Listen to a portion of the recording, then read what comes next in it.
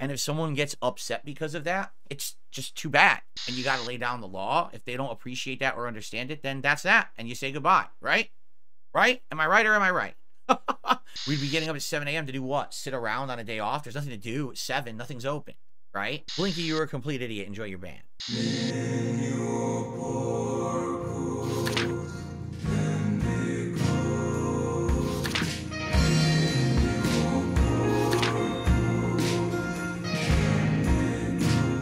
Before we get into the video today, I just wanted to apologize to any of my visual style viewers for the what looks like the quality on this first clip. This clip is from one of his DSP throwback style reacts, and in that layout his camera is absolutely tiny, but I didn't want to include whatever else he had on screen because it wasn't relevant, so we are just super zoomed into his camera. And that's why it looks as bad as it does. I just wanted to clarify before anybody thought that their quality had dipped or that the clip actually looked like that. It's just because we're super zoomed in, it won't be like that on the other two. But enough rambling, let's get into the grave dancing, specifically on the grave of One Minute Man. How do I feel about big tippers getting upset, not, not, not being able to control me or the topics I talk about? Listen, it's this simple, okay? The rules apply to everyone and always have. It's never been any different. I've been doing this for 16 years, all right? But that's just fundamentally not true at all though, because there's so many of these dents in his chat that are constantly getting preferential treatment, people that are constantly breaking the chat rules that don't get moderated or get brought back because they emailed him apologizing behind the scenes. So you don't even have to look at people like Derek who is constantly spamming chat and being obnoxious. You don't have to look at a person like Kirk who was openly being racist how many times and was constantly being unbanned because he sends DSP a dollar every once in a while. Because there's so many other people who are doing things as simple as bringing up detractors that are against the chat rules and it doesn't matter. But I guess that's what happens when 80% of your chat is LARPers. If you actually enforce the rules the way that they were supposed to be enforced, there wouldn't be anybody left. And not once ever in my 16 year run as a YouTuber have I let someone who contributes control me or my content. All right. If there's topics that I feel are off limits or I don't want to talk about, I'm not going to talk about them.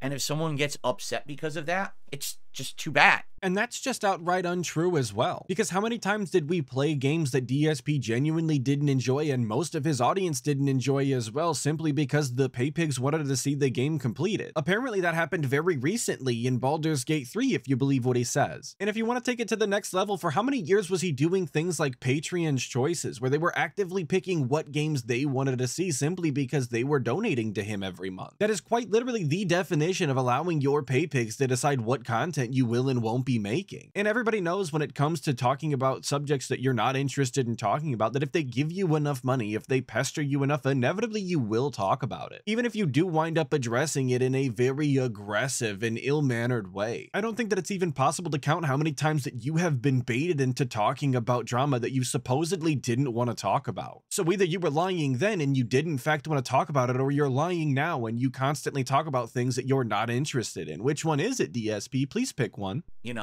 it doesn't even matter if it's uh, a detractor, if it's a actual you know viewer and fan of my content, if it's one of my biggest supporters ever. It doesn't matter who it is. Everyone has to abide by the same rules, and I retain the control over my content. Period. You know, if I don't want to take it in a certain direction that I feel is going to be negative for the channel overall or the stream or the viewers, I will not do that. All right. So it's that simple. And, you know, sometimes it happens where over the years, you get a change in attitudes, you get a change in all kinds of stuff. It's happened many different times over the years if you haven't noticed. Um, it's not just one particular person. But it kind of is this one specific person this time, isn't it though, DSP? And why do you think that it is that this continuously keeps happening to you? Why do you think that there's constantly people coming out of the woodwork that support your content and think that they're going to start running things and telling you how you should be doing it? Because while I'm sure that this does happen to other content creators, inevitably some whale is going to think that because they give somebody money that they deserve to run the show. It definitely isn't something that I constantly see other content creators dealing with or even talking about, which indicates to me that it has to be something with DSP and the way that he makes his content or the relationships that he has with his whales. But I guess that's expected when somebody like One Minute Man gives you $8,000 in the span of a single year. I think that any reasonable person after spending $8,000 would feel entitled to at least something, maybe even a topic that they want discussed to be discussed. But that would be insinuating that any of these dent style whales are exactly a normal human being, and we all know that that is the furthest thing from the truth. So, listen, what it might very well be is that at one point, someone really likes my content and so they want to support it. But then over a course of several years, maybe they fall out of love with my content and they don't like it as much, but now they want to participate in a different way. So now they want to stir conversation, whatever it could be. But the truth is, it's never going to change, okay? It's always going to be uh the same. Nothing is going to to change around here. All right? And I know when he says that nothing is going to change around here, he is very specifically talking about the idea that nobody's going to change his content for him and that they're not going to steer him in any sort of direction. But that statement really does go for his entire channel as a whole, doesn't it? Because even every new gimmick he has is just an old gimmick with a new coat of paint slapped on top of it, very sloppily, might I add. And while in this instance I don't want DSP's content to move into the political sphere, and I'm glad that he immediately shut down that prospect coming from One Minute Man, there definitely definitely have been some ideas given him from the dents in his chat from his pay pigs that I genuinely think would have been a good idea. I can't think of a single one right now off the top of my head because they've all gone by the wayside and been lost to history, but there definitely have been some in the past. Some ideas that I heard coming from the people that give him money and thought, you know what, that's not the worst idea I've ever heard and would honestly be refreshing for DSP's content. But I'm sure none of those people are around and they were probably even banned just giving him the idea because of course nothing is going to change on DSP Space Gaming. You just heard it yourself from him. You're not going to see me being completely controlled uh, by anyone or anything, any force, right? It doesn't matter if it's uh, a particular line of conversation, a, que- a question, whatever it may be, right? Um, you know, it just is what it is. That's how I am too. Like, you know, I'm not going to be favoritistic towards any party or parties uh, because of stuff. You know, I mean, how many times has Kirk asked to be unbanned? And I said, listen, even though you support the streams, I'm not unbanning you. You've violated the rules too many times.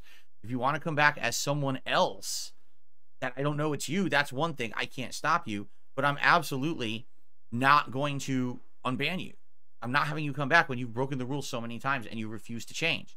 So that's it, you know. You got to put your foot down at some point. And that's how it is around here, you know. Is everybody supposed to applaud for you now, DSP, that you've finally done the right thing after unbanning him, what, 10 different times or so? Because it was made very clear after the first one that he had no intention of changing, and yet you continued to unban him despite everybody in your chat hating him. This isn't a win for you. This is just yet another example of somebody that should have been gone a long time ago. And despite you not unbanning him, you continue to take his money and even go out of your way to read the messages that he sends with it as if it's some sort of dunk on him. So sure, Sure, he might not be able to type in the chat freely, but he can absolutely pay you a dollar to say whatever, and you typically do. It's a very rare occasion that you don't, and even when you don't, you manage to say that you're not doing it, which is just announcing that he's there and giving him attention. So I hope that you guys like the streams with the fact that I don't allow them to constantly be derailed with people who want to take it that way. Particularly, you know, some people want to take my content in a very political direction. I outright have stated I don't want to do DSP politics, which by the way, if I do it, it would not be called that. Okay. It would be called something else and it would not be on YouTube. It would be of another format somewhere else. But if I ever get into politics, it would not be here. This content is something I've done for 16 years that I don't want to jeopardize simply because I want to talk about a different subject matter, okay? But what did you expect to happen when you outright told everybody in your audience that that was content that you were interested in maybe doing in the future? That those are topics that you are genuinely interested in and have things to say on? Of course, some of your audience is going to want to hear some of those things, and if some of them are going to want to hear those things sooner rather than later, they don't want to wait. Probably a poor choice of words given his strange aversion to anything sexual, but nonetheless, he practically asked for this to happen and then got upset when it actually did. Much like everything in his life, he has no one to blame for this but himself, and he really has no business talking about these topics to begin with. So, yeah, like that's that's the deal. Like I'm not going to put up with nonsense uh, from anybody.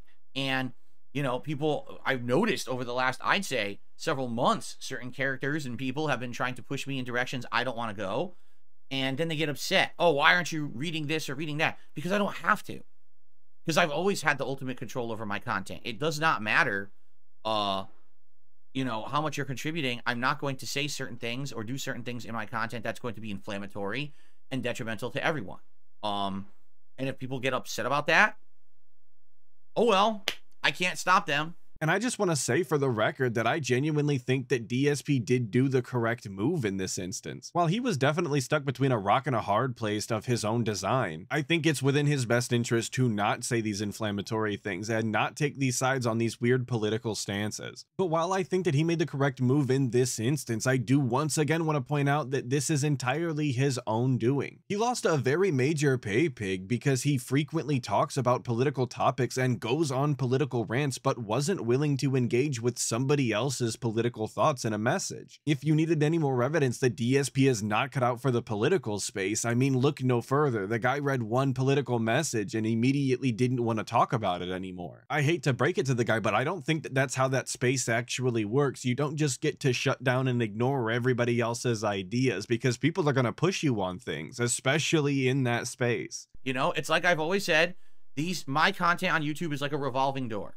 At some point, people like me, some people they don't. Or they like me at one point, they don't like me at another point. Whatever. You know, people change, I change. There's nothing you can do about that. You know, it's not the end of the world if you say goodbye to some people, you say hello to new ones, right? That's just how it is. So, I appreciate, you know, when people support me over time. I really do. Um, it's nice to have someone who are consistent supporters of content. At the same time, when you notice a change in attitude and when you notice that people are trying to be more and more demanding or controlling, and you got to lay down the law, if they don't appreciate that or understand it, then that's that. And you say goodbye, right? Right? Am I right or am I right? the multiple rights and nervous laughter just come off like he's trying to convince himself that this is a true statement that he's saying. That not only is he trying to lie to the audience and convince them that he doesn't care whether these people will come and go, but he's also trying to convince himself because One Minute Man was such a major whale for him. But of course, DSP is totally unbothered, you guys, because he's your fearless leader and he knows that the money will come in one way or another. It has to. It always has, and he thinks that it always will. That's that's my attitude anyway. Maybe there's people who are so beholden. I mean, let's be honest. There's YouTubers out there that literally just sit there and let people degrade and insult and bemean them for contributions because it's the only way they can make money. I'm sorry, did you say bemean? And bemean them for contributions because it's the only way they can make money. Yeah, he absolutely said bemean instead of dumeen, so that's pretty cool. But doesn't he technically do that as well? Because he absolutely receives super chats and tips with horrible messages in them from detractors, and there's no way that he's refunding that money. So regardless of whether or not he actually reads them out loud, he is still being insulted and demeaned for money. He still falls into that category. He's no better than any of these other people. In fact, he's probably worse because at least those people are getting their bag and know what they are. Whereas DSP seems seems to be in denial or at least complete delusion. So much so that he doesn't think that he is a shining example of exactly what he's trying to describe. Yeah, that's not me. I actually make content that people like and they support it. So I'm not going to then be, you know, have my stuff going away I don't want it to. You know what I'm saying?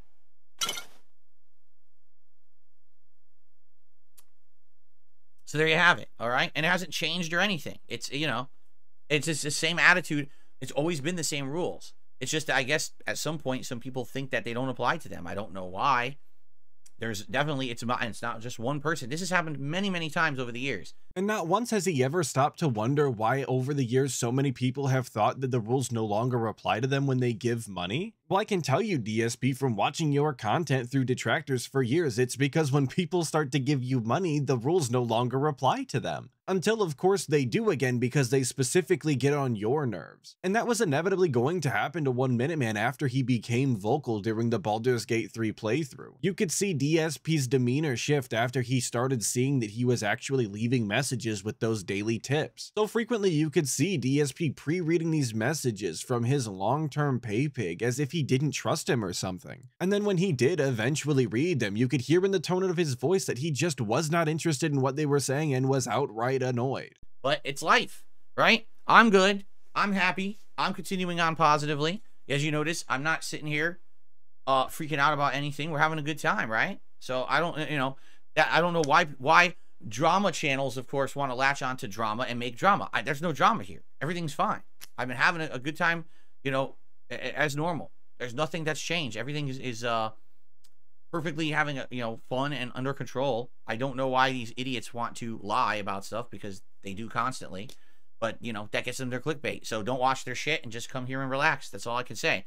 You know, So if you ever needed any sort of evidence that DSP is not actually in financial straits and that everything that he says about him being so low on funds is just a lie, look no further. Because any person who is low on funds, any person who is in financial straits would absolutely be concerned that $8,000 in a year is going to be completely gone now. $8,000 is quite a bit of money to just be out all of a sudden. That's $25 every single day that he just no longer will be receiving. That's of course if you believe what DSP is saying and that he's totally not worried about it and everything is cool. But now that we've done the grave dancing, let's address the moonlight. And by that I mean specifically the time that we do our streams.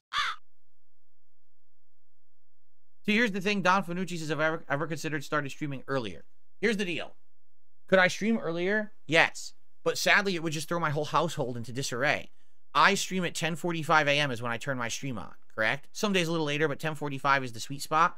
And I just want to say before we actually start getting into this that I've always found the times that he picks to stream as very strange. Because aside from the very specific west coast of the United States, I don't know when his stream schedule actually works for pretty much anybody else. And for all of my audio style listeners, I do have some visual aids to help along with this. So as you can see on screen, I have Pacific time set to 10:45 a.m. when DSP says that he starts his stream even though he has like 30 minutes worth of pre-roll. That's besides the point. And you can see just how kind of a strange time that is for every other part of the world, even in the US. Because I would imagine that the best time to start a stream would be either slightly before people start going to work so they have something to listen to on the way in, during about lunchtime hours so that people have something to watch while they're on their break, or as they're getting off so that by the time they get home, they've already listened to the pre-stream and can sit down and actually enjoy the gameplay. But that just doesn't appear to be the case when it comes to DSP's first stream. It's such a strange time all over the world. In fact, it appears to me that the most suitable location for DSP is actually in Europe, because it would be 6.45 p.m. in London, it would be 7.45 in Berlin, and it would be 8.45 in Moscow. A completely reasonable time to be expecting people to be looking for content online to engage with. But if he were to just start his stream a little bit earlier, let's say at 9 a.m. his time, you can see how all of these times become so much better. Pretty much all across the United States, you're gonna be catching people going on break, whether that be a smoke break or a lunch break. In Europe, you're gonna be catching so many people on their way home, and then by the time they get home, they can sit down and watch the gameplay. Exactly what I was talking about. And if you want to give him some slack and say, well, 1045 isn't that bad, it kind of works out for people if you look at it in a weird slanted way, sure, I guess. But the real problems begin to crop up when you take a look at his night streams and when he decides to start those. So he starts at 6:45 p.m. his time, which in the United States does kind of work out for some people as it gets later into the night, but they will only be around for a couple of hours maximum out of a 3-hour stream, inevitably leading to less and less engagement as the stream goes on. And if you look at any of the European countries, it is just a very terrible time for them, meaning that all of the people who would have really had the best experience when it came to the day stream are going to completely miss the night stream entirely. And that's feedback that he's actually received quite frequently when it comes to his European fans. I recall several times European Dents super chatting or tipping DSP and letting him know that there was just no way that they could ever see any of the games that he plays on the night stream because it doesn't work for them. If he were to do a similar thing in this situation, it would also work out in his favor. If he were to dial it back from 6:45 his time to let's say 4 p.m., again, you can just see how it lines up so much better across the US, as well as still being able to catch some of the more night owl style individuals that are going to be located in Europe. And if anybody is wondering why I'm specifically only talking about American audiences and European audiences, it's because I think that is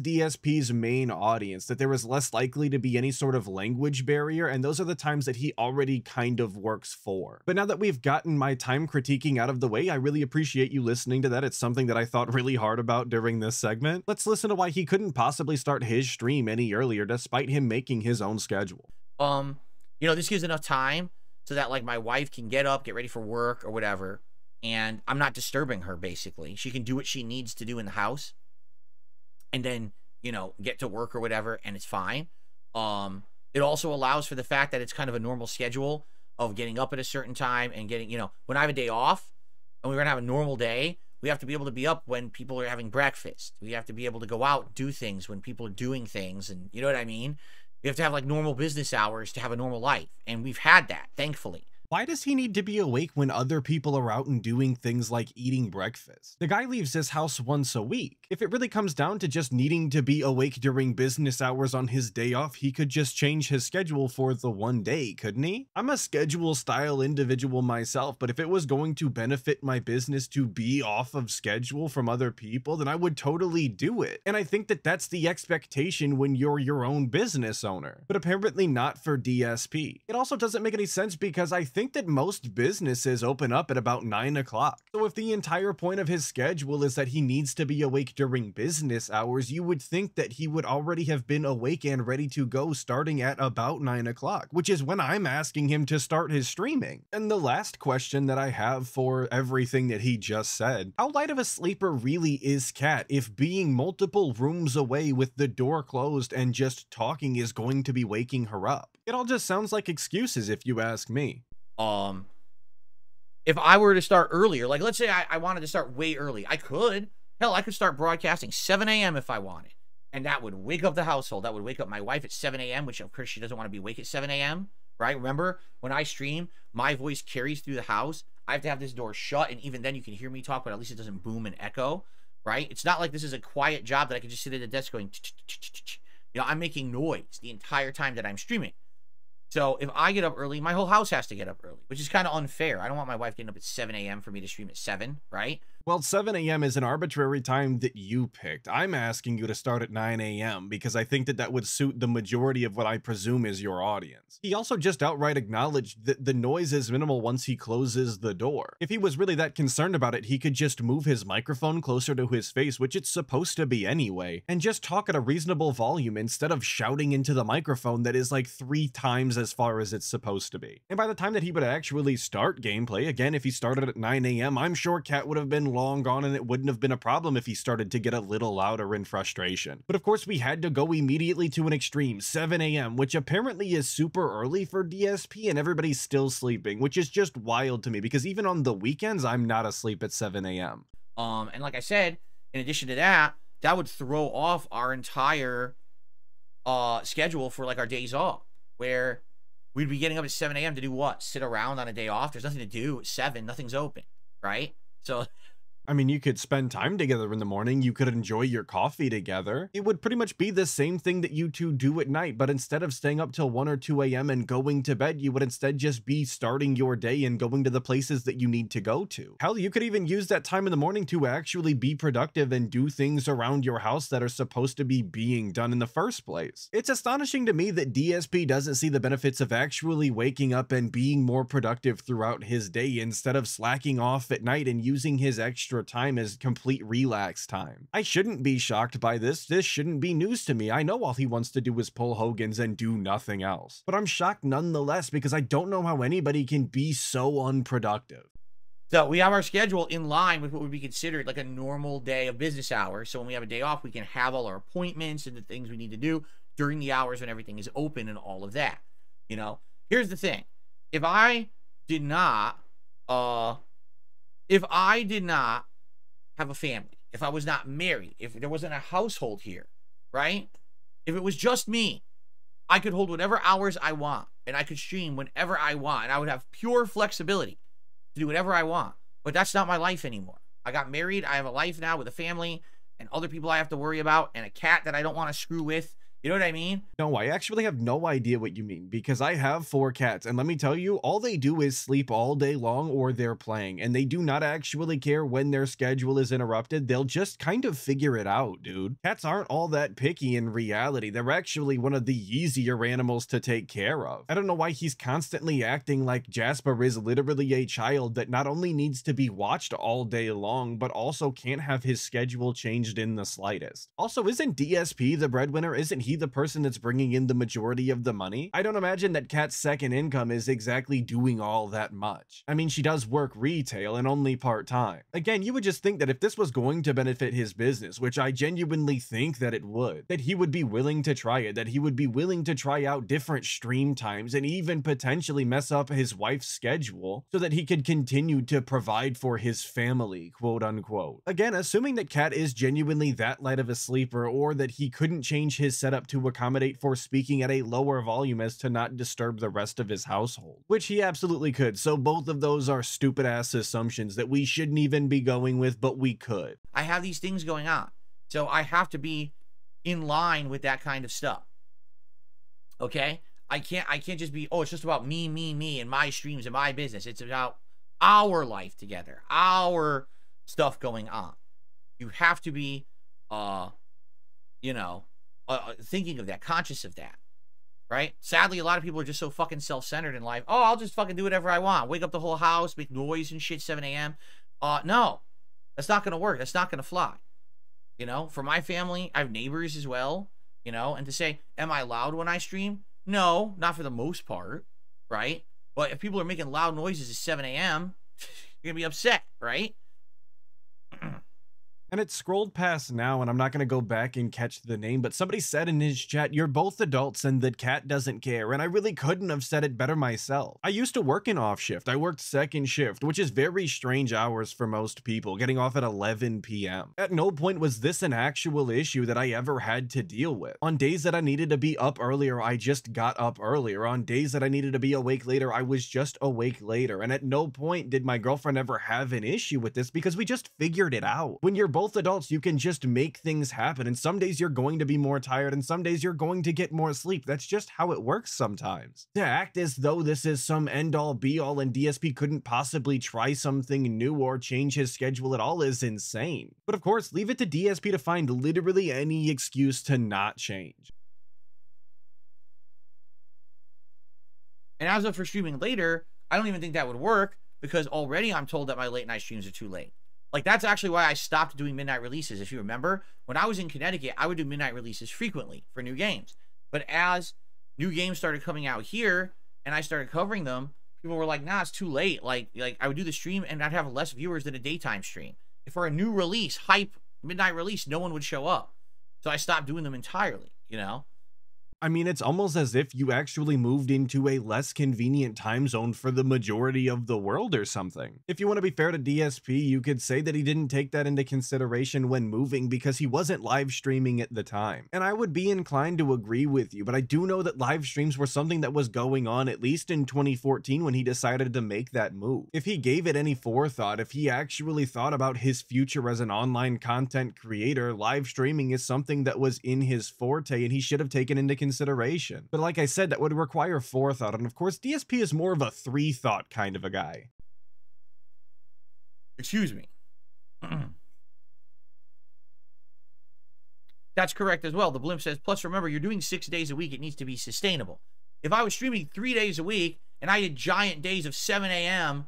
till midnight, right? Three days a week, okay, that's maybe better. But I don't. I do six days a week, man. I, I do a lot of content. It's got to be more consistent. You know what I mean? Again, it's kind of, for me, it's like a nine to five job. is how I kind of treat it. So that way I can have a normal life outside of the streaming. If I had a weird hours and shit, then I wouldn't have a normal life. I wouldn't have a normal sleep schedule. I'd be all fucked up.